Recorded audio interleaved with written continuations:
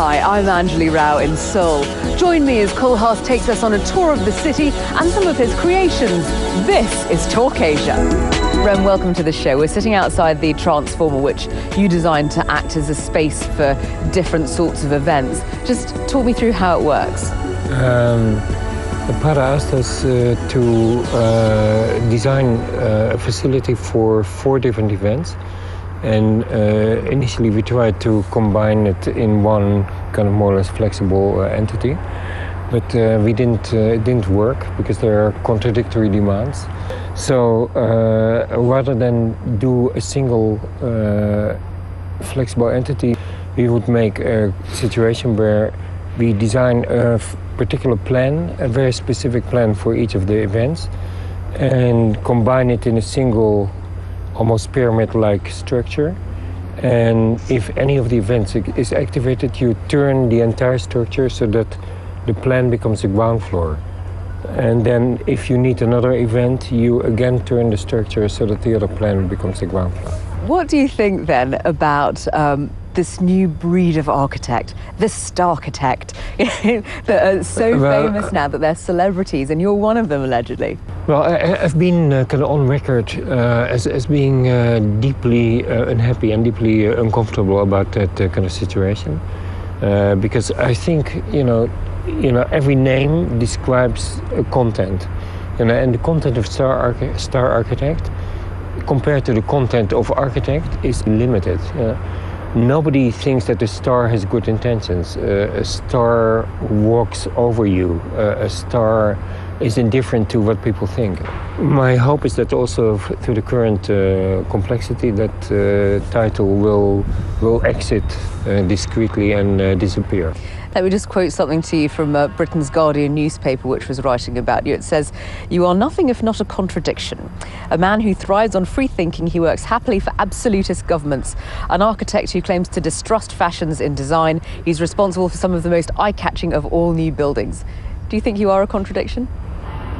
Uh, well, I, th- I, think that. Uh it's not possible to, to live in this age uh, if you don't have a sense of many contradictory forces. And, and I think that architecture you know, has both the privilege and the problem of, of being an intersection of economical issues, cultural issues, artistic issues, uh, sociological issues, political issues.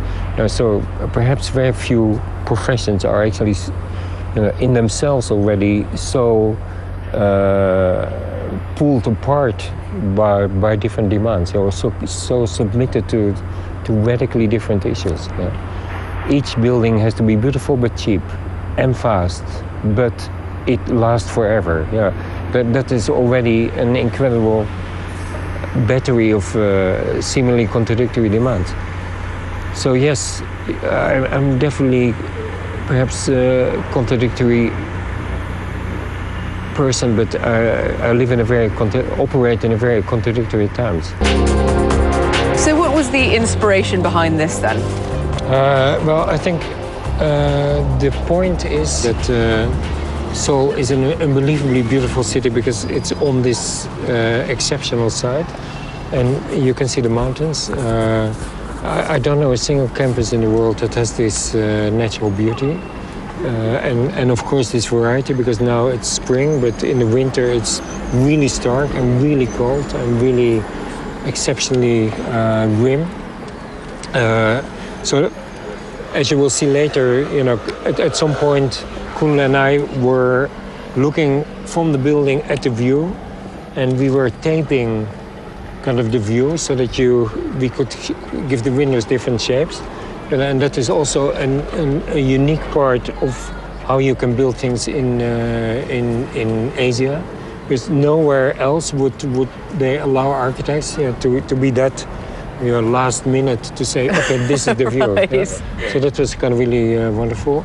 And so, uh, since the environment is so beautiful, you know, the, we, we have lifted the building as much as possible off the ground so that you know, the, the nature penetrates uh, where it can. You still lecture at Harvard, I understand. Mm-hmm. What do you get from your exchanges with students? I, I started uh, teaching in Harvard because I. Um, not so much because I have a kind of excess of knowledge, uh, but actually because I realized that there were some things I didn't know.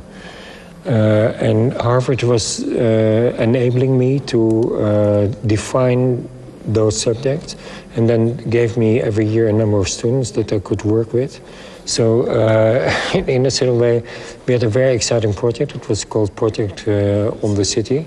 And so, with those students, we would go, for instance, to the Pearl River Delta, or we went to Lagos. That is how I met uh, Kunle. So when you've you know created a place like this and you come back to it, um, how does it make you feel? I mean, do, do you allow yourself to feel proud of what you've done?